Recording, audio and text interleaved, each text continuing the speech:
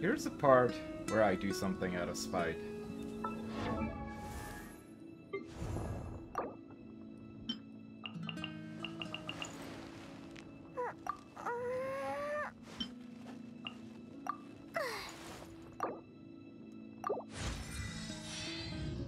Take this, haters.